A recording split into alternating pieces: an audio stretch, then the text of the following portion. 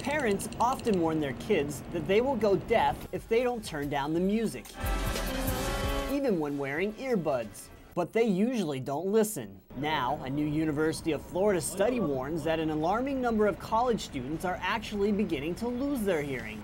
While testing students who thought they had normal hearing, researchers discovered 25% of them actually lost some of their hearing. Male college students who reported using portable music players were more likely to have hearing loss in the high frequency range. Researchers say the hearing loss detected in the students usually occurs in older adults. So the, the level of hearing loss that we are seeing it's starting at the higher frequencies, and that's exactly what you see in an aged year. So typically starting around 50, you'll start to see hearing losses in the higher frequencies.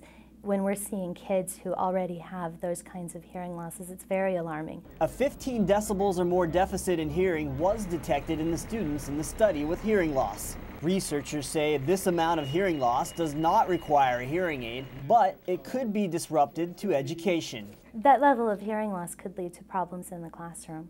So for example, someone who has a 15 dB level of hearing loss might have a harder time understanding what the teacher is saying, or if there's noise in the classroom, if other students are talking and there's competing signals, it could be more challenging for that student to understand the material being presented. Researchers say current hearing tests in school children are not detecting a lot of hearing loss because the screenings check a narrow frequency range. At the University of Florida, I'm Chris Bilowich.